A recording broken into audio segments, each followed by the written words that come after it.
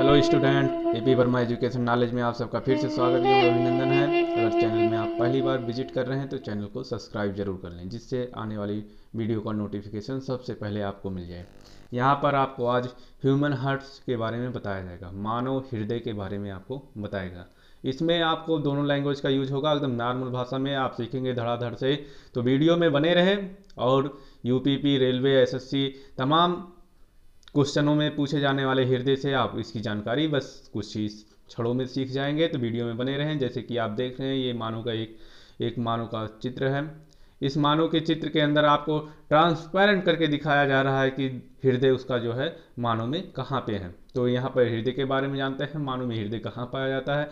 तो मानव में हृदय जो होता है, उसके दोनों फेफड़ों के मिड पॉइंट पे। यहाँ उसके दोनों फेफड़ों का मिड पॉइंट है। आप देख रहे हैं जैसा कि ये दोनों फेफड़ों का उसका मिड पॉइंट है। मिड पॉइंट से वो थोड़ा सा बाएँ की तरफ़ क्या होता है? झुका होता है। मानव हृदय दोनों फेफड़ों के मिड पॉइंट में पाया जाता है और मिड पॉइंट के साथ साथ वह थोड़ा सा बाएँ की तरफ़ क्या होता है?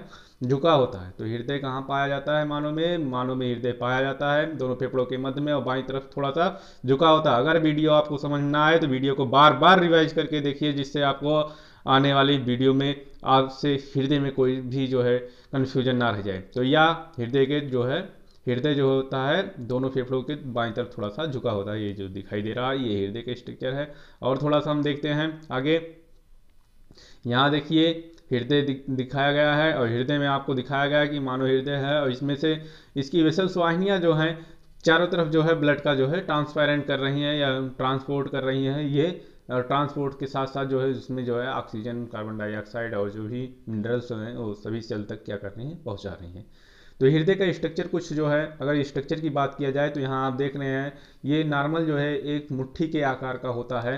ठीक है? ये एक मुट्ठी के आकार का होता है, लेकिन आजकल जो है, इसका सिंबल जो है फ़िल्मों में और सब जगह दूसरी जगह तरह से शो किया जा रहा है, जैसे कि हम यहाँ पर दिखाई दे रहे हैं कि जो है इसका हृदय का सिंबल जिसे हम दिल भी कहते हैं हर्ट भी कहते हैं तो कुछ ऐसी तरह से दिखाई दे रहा है, जो कि इसका हर्ट का कोई ये जो है चित्र नहीं है, लेकिन लोग जो है दर्शाने के लिए ऐसा बनाते हैं और भी डिज़ाइन बनाते हैं।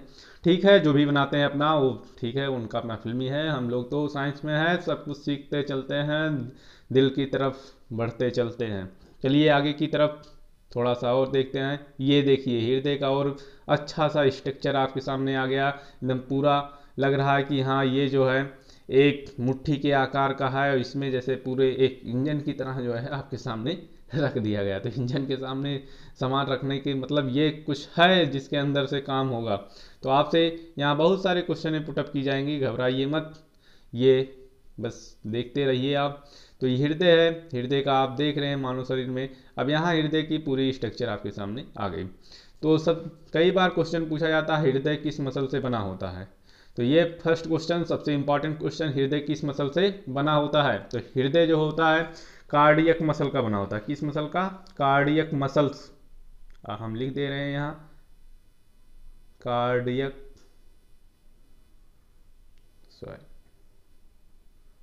कार्डियक मसल ये कार्डियक मसल का बना होता है। ये क्वेश्चन पुटअप किया जाता है आपसे कि हृदय किस मसल से बना होता है तो हृदय जो है कार्डियक मसल का बना होता है।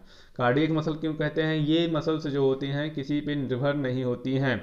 ये मसल्स किसी पे निर्भर नहीं होती, ये अपनी इच्छा अनुसार जो है गति करते रहते हैं। आपके शरीर में जैसे ही ऑक्सीजन का लेवल ज़्यादा चाहिए तो ये तेज़ी से गति करेंगे ऑक्सीजन का लेवल कम चाहिए तो ये धीमी से गति करेंगे। तो अगर आपको हृदय नॉर्मल फिर क्वेश्चन पूछा जाएगा आपसे कि हृदय एक मिनट में कितनी बार धड़कता है? तो नॉर्मल आप लोग जानते हैं कि एक मिनट में साठ सेकंड होते हैं। एक मिनट में साठ सेकंड होते हैं। तो एक मिनट में साठ सेकंड जो होते हैं, इस साठ सेकंड में हृदय जो है नॉर्मल जो है सेवेंटी टू टाइम मतलब बहत्तर बार जो है हृदय क्या होता है? हमारा धड़कता है। तो 60 सेकंड में हृदय हमारा कितनी बार धड़कता है? बहत्तर बार धड़कता है। ये क्वेश्चन आपसे नॉर्मल पूछ लिया जाता है। ये बहुत जनरल क्वेश्चन है। छोटे छोटे बच्चे भी जानते हैं। फिर आपको पूछा जाएगा कि हृदय में जो ऑक्सीजन वाले ब्लड आते हैं, जो अनऑक्सीजन वाले ब्लड आते हैं, जिन्हें हम प्योर ब्लड और अनप्योर ब्लड कहते हैं, वो कहाँ से आते हैं? ठीक है? तो इसमें आपको बहुत सिंपल सा दिखाई दे रहा है जिस जिस बेंस रेड है। रेड मतलब लाल है। जहाँ जहाँ पर बेंस लाल हैं, यहाँ है यहाँ है यहाँ है, ठीक है? जहाँ जहाँ पर भी वेंस लाल हैं, वो सब वेंस में जो है ऑक्सीजनेटेड ब्लड मतलब जिसे पेवर शुद्ध ब्लड कहा जाता है, या पेवर ब्लड कहा जाता है, या शुद्ध ब्लड जिसे कहा जाता है, इस इस रेड वाले में शुद्ध ब्लड होते हैं।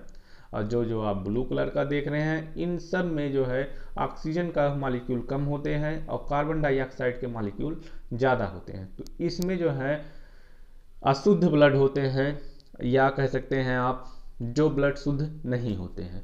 तो हम यहाँ पर देखते हैं कि शुद्ध ब्लड कहाँ से आता है तो हमारे हम जब श्वसन करते हैं, श्वसन के पश्चात हमारे फेफड़ों में ऑक्सीजन और वायु की तमाम मात्राएँ जाते हैं, वहाँ पर एवलाई एक स्ट्रक्चर होता है, एवलाई से ट्रांसपेरेंट होकर जो होती हैं रुधिर वाहिनियाँ वहाँ से अपने रुधिर में हीमोग्लोबिन जो होता है, हीमोग्लोबिन, जिसे एच कहते हैं, हीमोग्लोबिन जो होता है, ऑक्सीजन के फोर मालिक्यूल को क्या करता है अटैच करता है। One haemoglobin attach to oxygen के फोर मालिक्यूल ये भी क्वेश्चन आपसे पूछा जा सकता है, ये हाई लेवल का हो जाता है कि एक हीमोग्लोबिन ऑक्सीजन के कितने मालिक्यूल को अटैच करता है? तो एक हीमोग्लोबिन ऑक्सीजन के चार मालिक्यूल को अटैच करता है। और हम आगे देखते हैं, इसमें जो ब्लड आ रहे हैं, शुद्ध ब्लड तो वो कहाँ से आ रहे हैं? फेफड़े से आ रहे हैं। यहाँ लिखा गया है ऑक्सीजनेटेड ब्लड फ्रॉम लंग्स मतलब शुद्ध ऑक्सीजन वाले जो ब्लड हैं, ऑक्सीजन वाले जो ब्लड हैं, वो आ रहे हैं कहाँ से? फेफड़े से।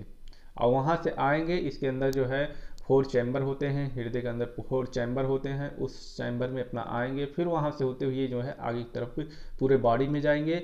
फिर बॉडी में जब पूरा ऑक्सीजन वाला मैकेनिज्म जो है ख़त्म हो जाएगा, ये ऑक्सीजन यूज़ हो जाएगा तो वही ब्लड फिर से जो है दूसरे वेंस के माध्यम से जो है डीऑक्सीजनेटेड ब्लड जो होता है, पूरे शरीर से जो है वो चला आएगा कहाँ में? फिर से हृदय में। कहाँ चला आएगा?